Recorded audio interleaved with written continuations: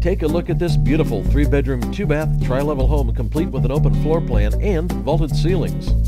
Amenities include air conditioning, window coverings, ceiling fans, and so much more.